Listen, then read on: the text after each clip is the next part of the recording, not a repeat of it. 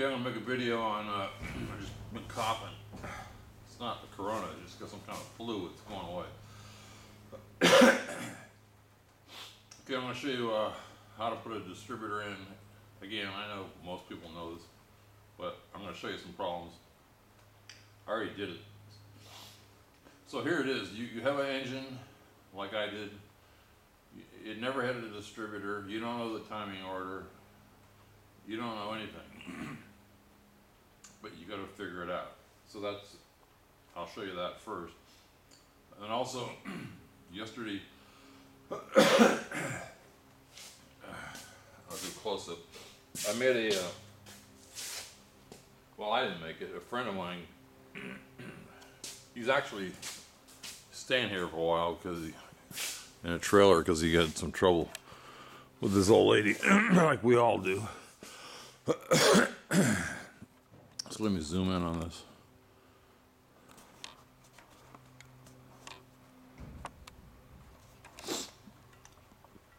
I was I was just talking to him about uh hey, I need a starter brace.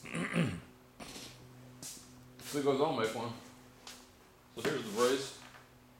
He just took a piece of uh you'll see it in the video, but he he made it up I'd say it took him half hour. then I was telling him, you know, we just talk, we, we think alike. He likes mechanical things, I like mechanical things. so then I'm going to show you, I don't know if you can see this here. Probably not, I have to adjust the video again.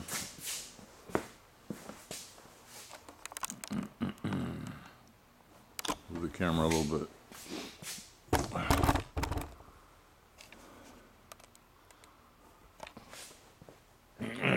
I was, I was telling that uh, this vacuum port here has, on this intake manifold, has different threads than the one on the 76. And I wanted to put this on the 76, so he just cut it, welded it, modified it, now it bolts right in. so that'll be on there.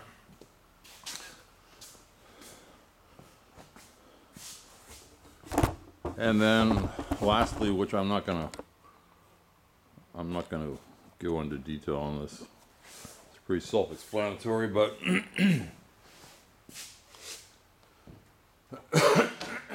a, uh, I think this is a stock starter. And this has got a stock, I'm pretty sure this is a stock heat shield, which you don't, you can't get on any rebuilt starters. In fact, I don't even see these on. I don't even see them on eBay. They might be on there once in a while. But you can make one. It bolts to the front here, and it bolts to that bolt on the starter there. So that's how it looks. So I'm just going to take it off. I'll just save the starter. I save all the old parts that are stock. I'll just sandblast it, paint it, put it on. Anyway, I'll turn this off. and I'll talk about the distributor. You know, they're, they're the biggest problem with rebuilding an engine. I mean, not one of the biggest problems, but people make- make mistakes. So I'm just going to go over it. I, I might mumble, I might make a few mistakes myself in words, so just just listen closely. okay, so just to put a distributor in first, in my opinion, you need to know the rotation of the engine. You need to know which which is what the spark plug holes. You know, one what the firing order is, which one is which, and they're and and where to stand. Do you stand in the front for the rotation or do you stand in the back for the rotation? Because if you're here, it's clockwise. if you're standing back there, looking this way, which is the way they call these engines out, it's counterclockwise. so I looked all through my service manuals. I could not find anything that talked about the rotation of the engine. Again, we're assuming that you don't know anything about Pontiacs and you didn't have a distributor and so on. This, for people that know, this won't mean anything. but first of all, so I got, I've been collecting books. So this is a, a Haynes book, and this just happens to have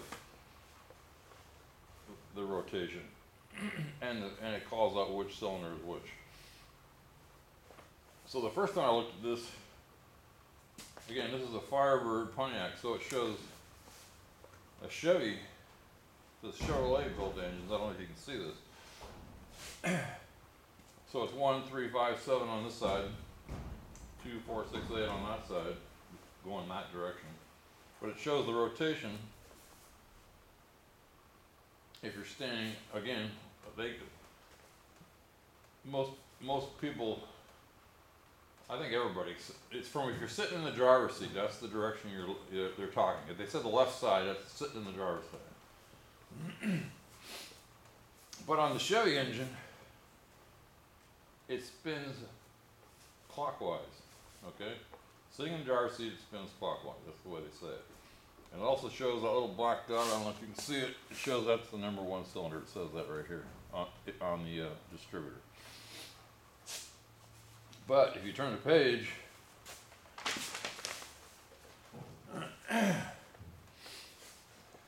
it's the opposite. It's still one, three, five, seven, two, four, six, eight. But the rotation is the opposite for Oldsmobile and Pontiac V8s. So you get the opposite rotation. also, they show the number one cylinder as being, uh, again, I don't know if you can see that, but they show it being up here. And again, I'm just gonna show you versus the Chevy.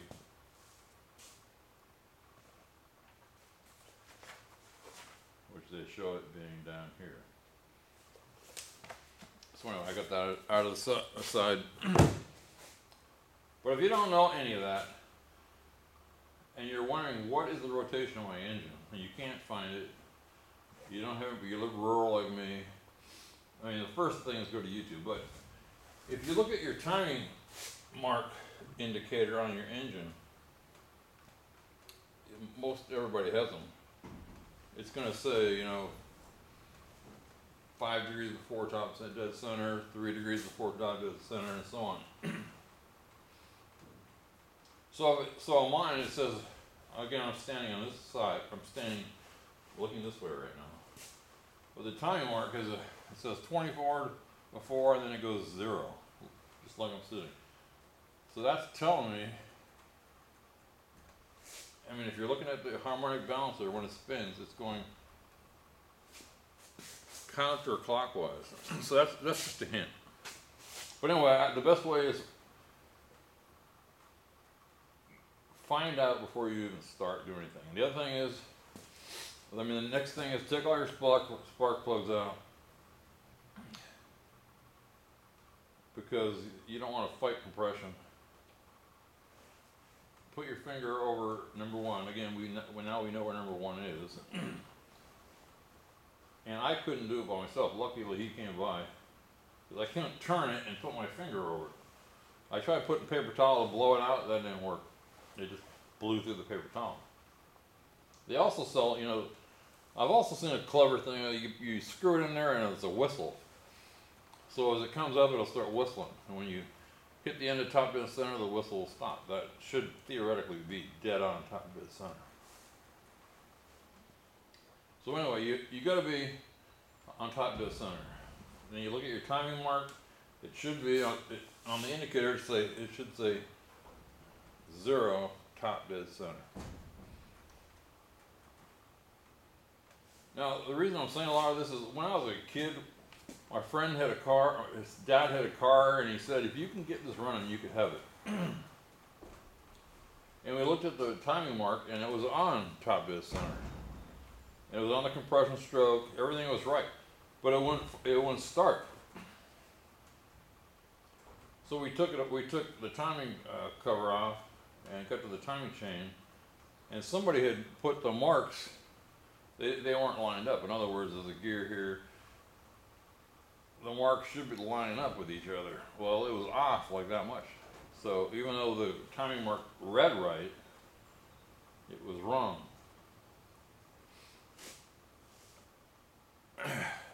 So, enough on that. So I'm gonna pull the distributor out and I'm gonna pretend like I don't know anything. And I'm gonna show you how to do it. Okay, well, I, I said I was gonna pull the distributor out, but just in case somebody doesn't know, anything about distributors.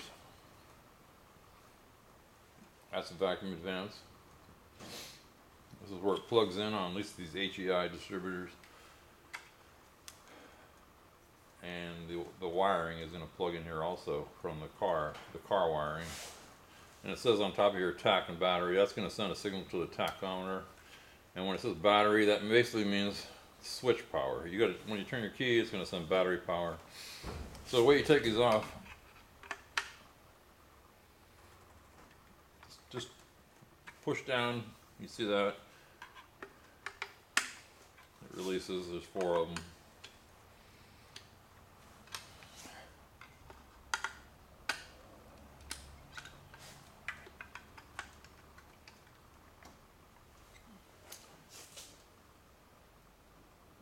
Okay, so uh, another thing I have to say is again, looking in the manual, it doesn't say how this should sit in here. Should it, should it, should this be facing that way? Should it be facing this way? Should it be facing that way? Should it be facing that way? It doesn't, I could not find a picture anywhere, even online, because everybody's got their air cleaner on there and you can't see it. And I don't, and it's not in the car. If it was, the wires would probably probably be where they would go, and you'd know. But and again, I want to say you can put the distributor in any way you want, but the right way is the way they did it from the factory. So there's some clues here. On any card, there's going to be some clues. For instance, this vacuum advance, I can't have it over here. It'd be in the way of this this water jacket that's going to go to the heater core. It can't be way over there because it would hit the manifold. It wouldn't be there because of the firewalls here. So really, the only way this can really go is right there. Okay, so I'm going to take the distributor out and then I'm going to take the cap off and I'll, and because I don't, if I take it off, you'll see some clues that I don't want you to see. So we're just going to take it out. Take the cap off. I'm just going to set the cap aside. Oh, while I'm here, again, when I was a kid, one time it was misfiring, and we couldn't figure out why, and we checked all the wires, and everything was right. And I looked in the cap, and there's carbon trails. I don't know how they get in there, but there might be a carbon trail coming right out of the cap. You'll see it burn into the cap, kind of, and it was grounding to the outside of the uh, manifold, or there might be a carbon trail that goes to the next plug. So if you ever have a weird problem, you can't figure it out on these old cars, look for carbon trails. Make sure that's clean. Make sure these contacts in here are clean. Here's the uh, plug. Okay, so we, we said that.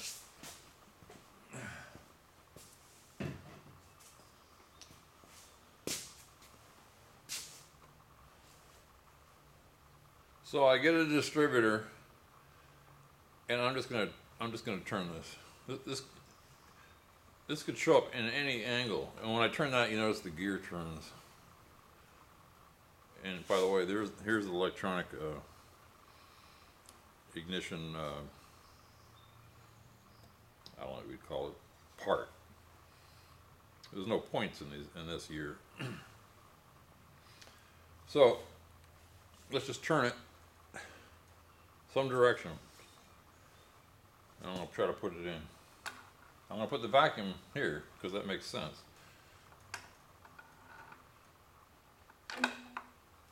Okay, it, it just happened to drop right in. But I showed you on the manual that it's supposed to be, this is supposed to be facing here.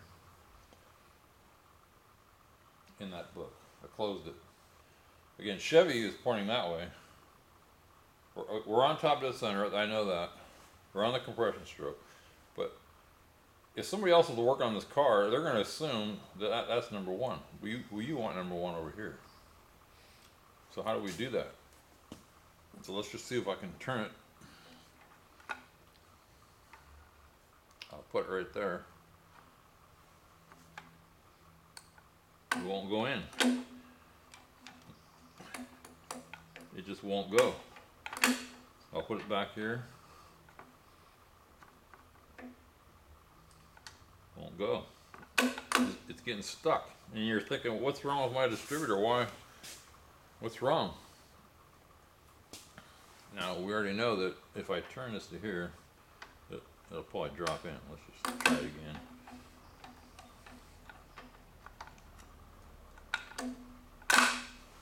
You also notice that when it went in, it, it rotated counterclockwise. It didn't rotate clockwise. so the way to, there's two ways you can fix this. You could rotate the engine. You could have it, I mean, you know it's going to turn counterclockwise. Let's do that one more time.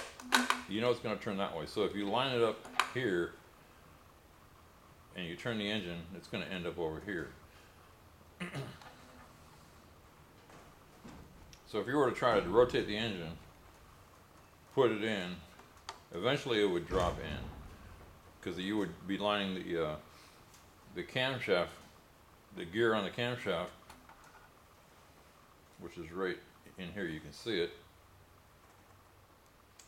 and then down inside. I don't know if I'm going to show it, but if you look down in your distributor, you're going to see a slot that that you can put like a screwdriver in. That's the oil pump.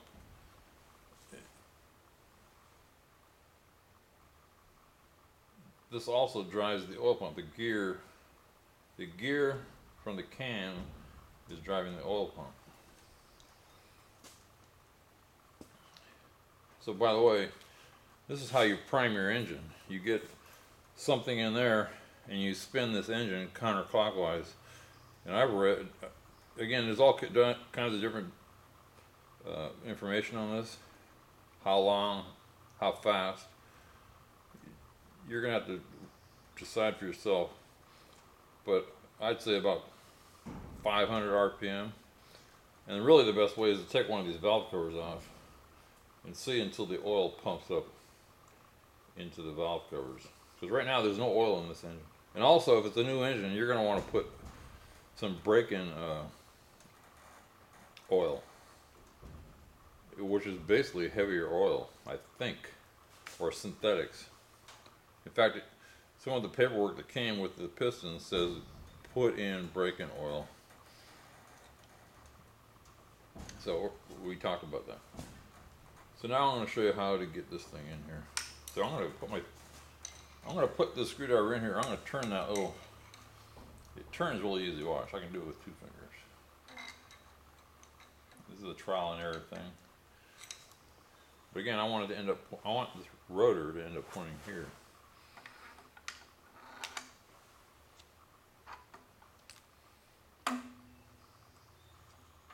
Put, we know it's going to turn. It, I just happened to do it right. That's it. So that is number one. So now if I take the, uh, if I take the cap, I'll bring the cap over here. That is number one. Now watch when you, you know, you hear him talk about turning your distributor to time it. Well, you can see it'll turn all over the place. But right now we're just going to start there. That is one. So there's a slot in here that matches this somewhere right here.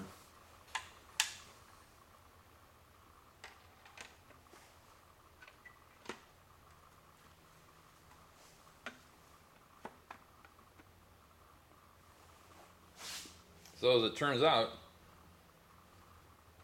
again, we didn't know this, but as it turns out, it's pointing right here. That So that is number one. I mean, they could have put that notch way over here, and this will would have been pointing that way. And same with dropping this, distributor in.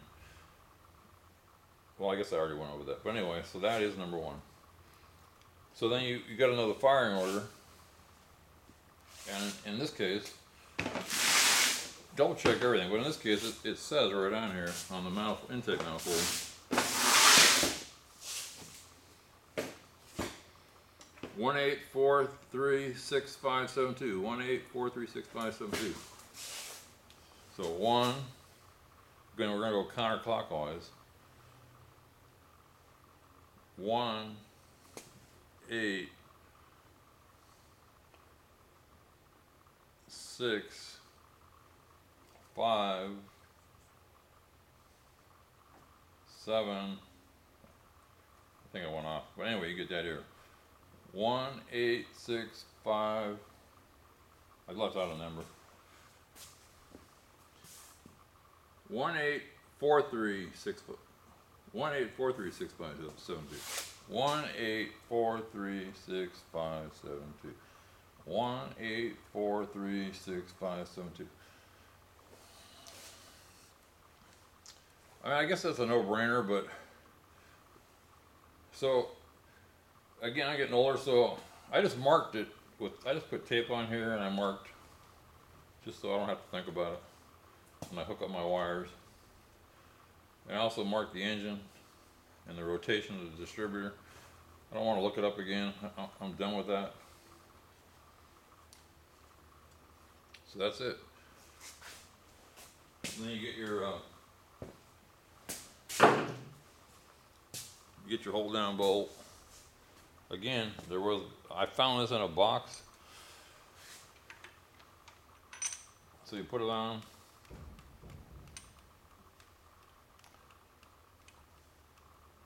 Okay, I'm just gonna hand tight it because I don't have a wrench, but you notice it turns. That's no good. You need to get some torque on there, some. When you start up your engine, you don't want this thing rolling around. But you do want it tight enough where you can turn it. Because when, we'll talk about, when I start the car up, we'll get in depth further. And again, I'm taking my time, I'm working everything out. I'm not in any rush. I don't want to, re- I don't want to struggle to reach down if I can help it. Uh, I don't know if you can see this right here, but this oil pump might be in the way. I might take this off. I don't want to break this. So uh, again, watch. Usually, when you drop an engine in, you don't have the uh, alternator and all that on. But I don't. I don't have the front end of my car is off, so it, it shouldn't. It shouldn't matter. But this oil sending unit,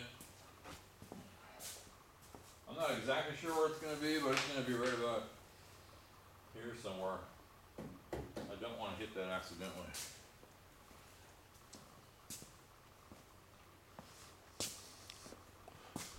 So I, I, again, I always, for some reason, start going into other things.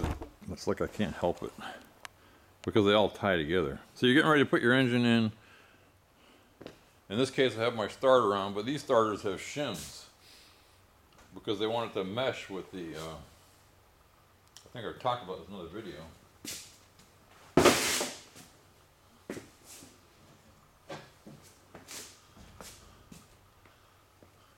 So you're going to bolt your torque converter on, and I think I discussed. There's two sides of this. I think I discussed that in another video.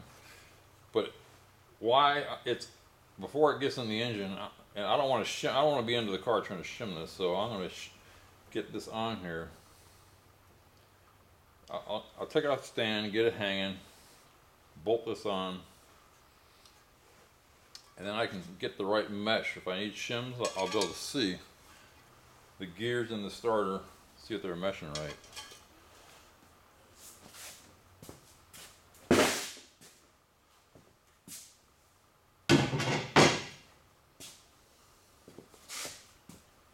The other thing, if I don't say it, I'll probably say it again later.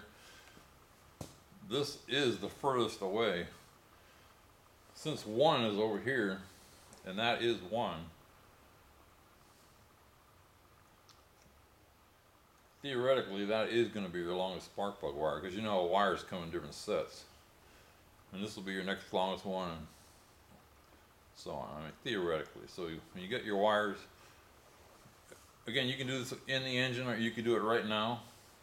But I don't have all the standoffs that I'm gonna. I haven't even figured that out. I'm gonna do that later. I think that's it. So we talked about the uh,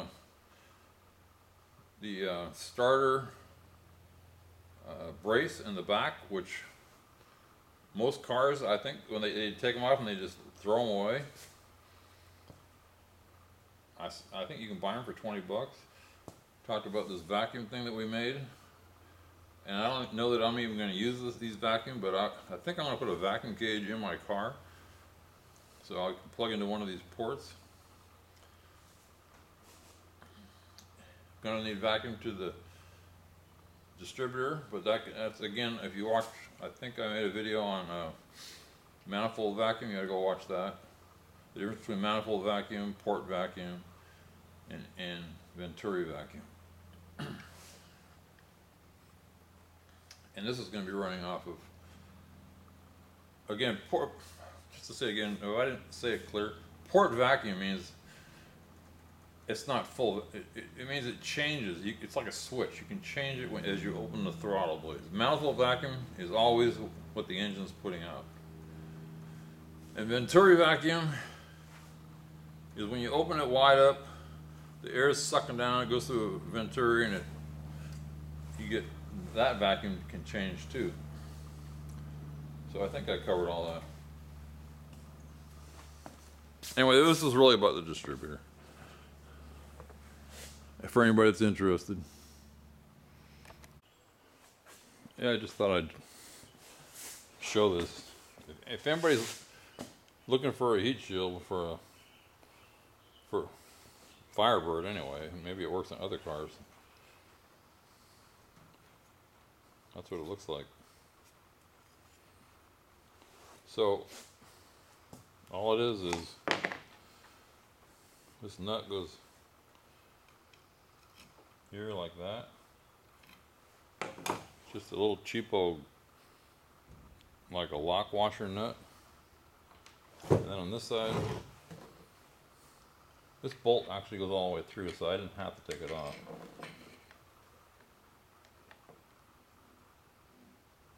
I just wanted to clean the head, but you can see it, it slips on, so you go, put that on over here. and then just slip that on. You can also bend it a little bit. It was it had been smashed, so I just kind of bent it.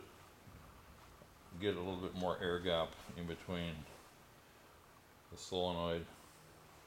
But I guess you could do that after it's bolted on. You could just stick a screwdriver in there and bolt and mess around with it. So yeah, I'm gonna use it. I'm just gonna clean up these parts. I'm just gonna clean up this bolt too. Maybe I'll just switch bolts. I'm sure they're the same. If not, I'll just take the other one out. Fact, let me just check right now.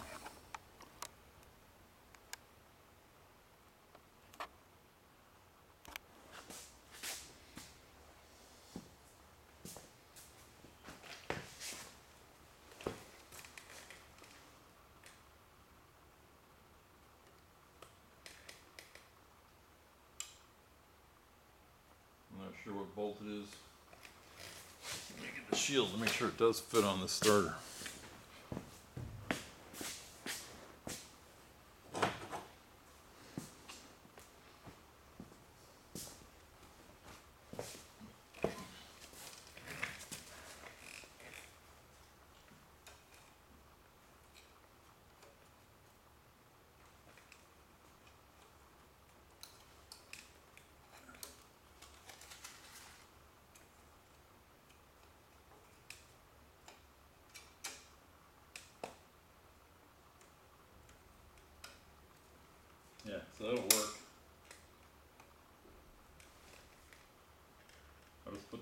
Right there.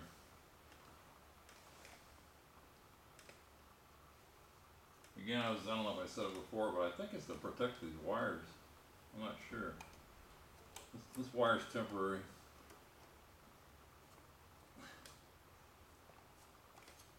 So, let's see how I do that.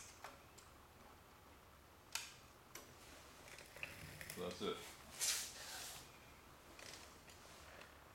I don't see a part number on this. But this has gotta be factory, I, I don't know anybody else that sells these. After I clean it, after I sandblast it'll, I'll know. Or I could just wash it.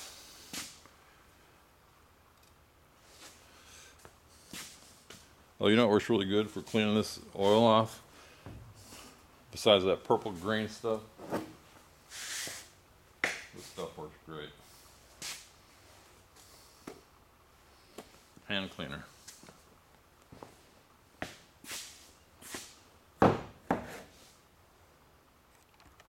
This is Joe. This guy can fix anything. He can do anything.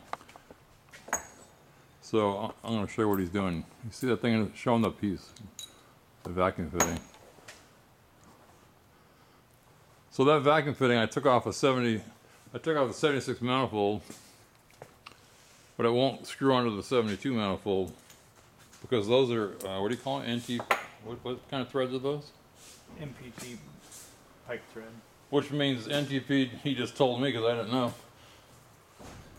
Means tapered threads. It's smaller here. So he's gonna, he just, he's making, he's gonna, he's gonna make one. He's gonna cut, what are you gonna do? You're gonna cut that off? Cut the top off of that and put it on So he took a bolt. 5 eighths. Like I say, this guy can do anything. He goes, well, let me just do it. So he took a bolt that I had. He's going to, I don't know what he's gonna do. What are you gonna do, Joe? Cut the top off that one and a piece off the bolt that I drilled out and add a washer and the top of that, stick it all back together. You gonna weld it? Weld it or braze it, Weld it or braze it? I never brazed in my life. we'll see. So, what he, how he did it, as you see on the table there, he just kept, uh, start with a small drill bit. Just step it up, up, up. He just kept stepping up to bigger sizes.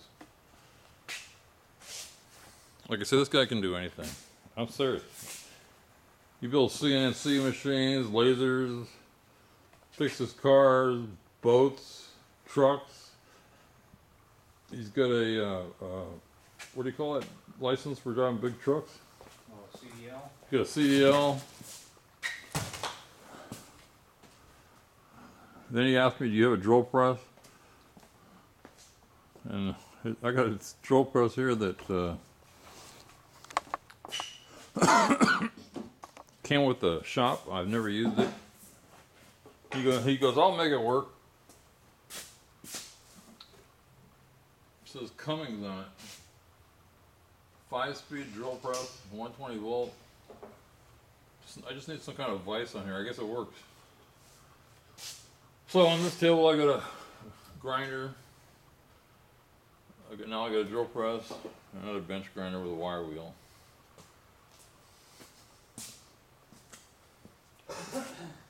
And again, there was no truck with no truck chuck with that. And he goes, "Well, you got a drill?"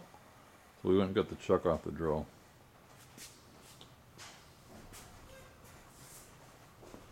I finally got somebody that knows what they're doing. It's like a freaking miracle. So that's it for now. So I don't know if you don't know you can hear me.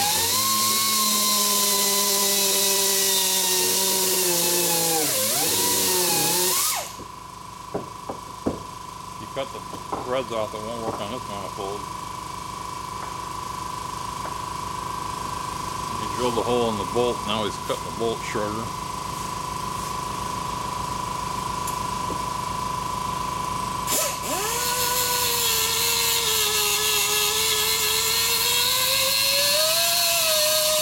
Grinding it smooth.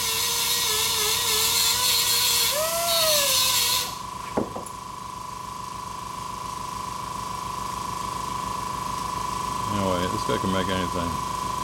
It's crazy. He's like a freaking metal scientist or something. No, he's, wel- he's welding that piece together. Without glasses. I guess he just closes. I guess he closes his eyes.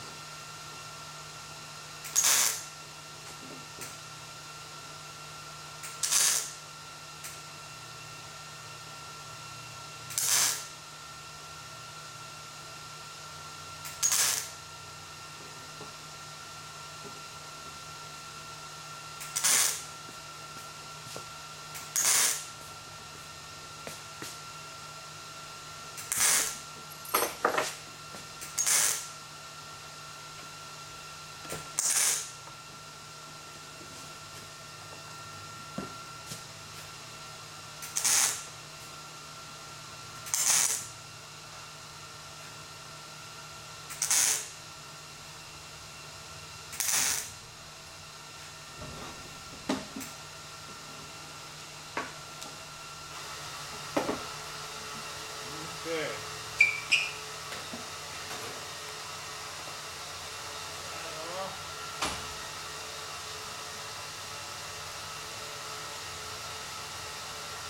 Ah, me, I got a hell helmet.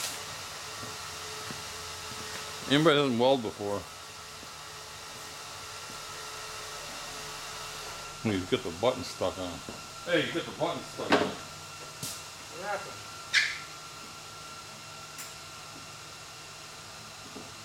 How's that happen? That's the problem with that thing. Yeah, it should have a guard on it. Hey, the trigger's stuck on the wires running out. Yeah, tell on me, why don't you? His nose, his name is Joe Green Jeans.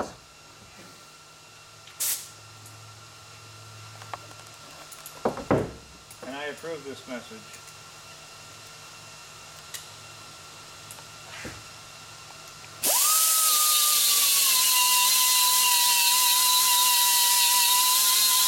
So I think what he did is he welded the uh, the bolt that he cut off to. I think. It's going so fast. And he's gonna bolt that fitting to it. It's sitting on the table. Yeah, that's the bolt he drilled out to a washer. Show him, Joe. Hmm? Br- Just bring it over here for a second. Right about. Yeah, I put that other piece on there. Homemade vacuum fitting. About 20 minutes so far. You want my helmet? Nope. I don't wear no stinking helmet.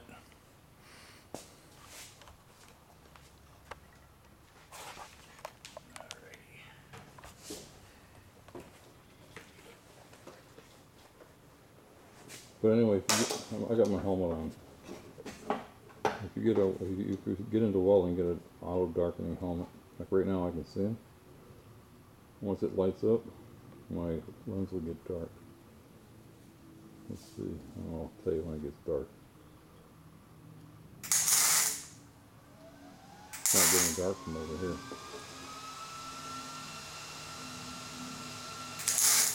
But it's just dark enough.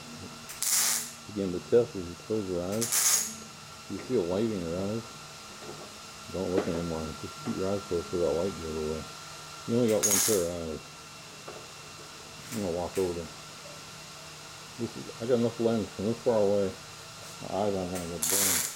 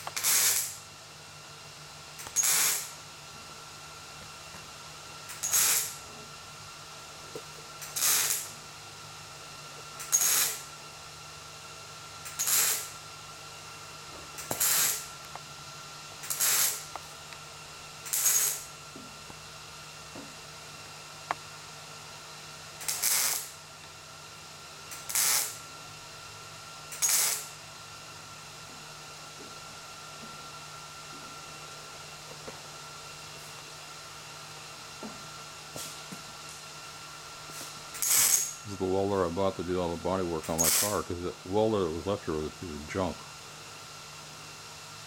When I did all the, if you go back to my early videos when I was doing the patching the panels.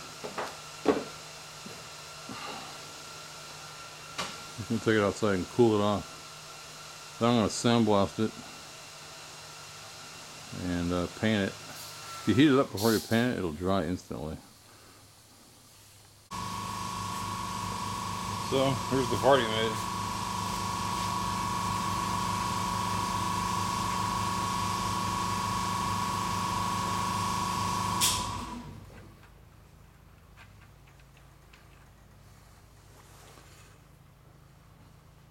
Rubber washer, that was extra. It's all leftover parts. Now I just gotta paint it. I'll just heat it up, spray it black.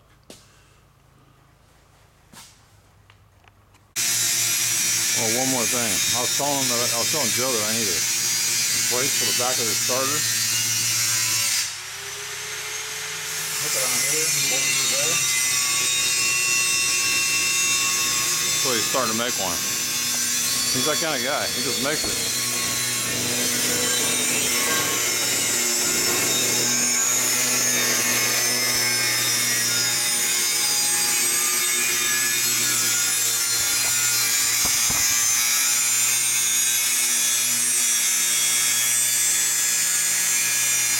Starting with that piece that I found. Inch tube, but it's found laying around. And I'll show it. I'll show you later. Okay, he's making that piece for the starter. See it? Got a twist in it. Now he's making a slot bigger. Anyway, I get sore. Get tired. Maybe I'll show it when it's on the car. Just a piece of black tubing you can see in the background. Cut it, bent it, drilled it, filed it. There it is.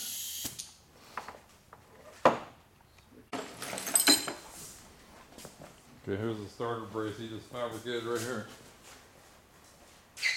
Bolts right to the block.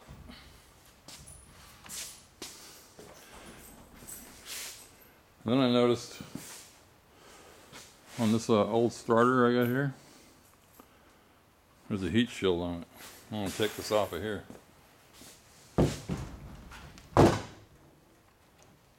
I think this is a factory, uh, I'm talking to the camera. I think this is a factory starter, and this is a factory heat shield. So I'm definitely gonna use that. I get, I'm not sure why they put it there to protect the wires, or just the starter, or the solenoid. Anyway, good find. Try to find one of those on eBay. Says Delco Remy USA one nine nine eight two two four then zero eight one oh two.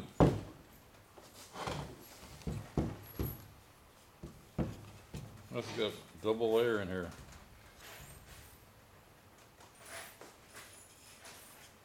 To dissipate the heat, I guess. That's pretty cool. That's a cool find.